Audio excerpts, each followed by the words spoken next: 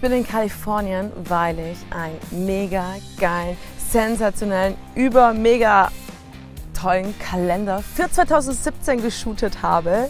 Ja, ähm, dazu habe ich mir die beste Crew organisiert, alles all around, die ganzen Locations passen, damit ich einfach meinen Fans irgendwas zurückgeben kann. Ja, ich, die geben mir so viel Kraft, so viel Motivation und so viel Lebensfreude. Ja, ansonsten würde ich gar nicht dastehen, wo ich jetzt stehe.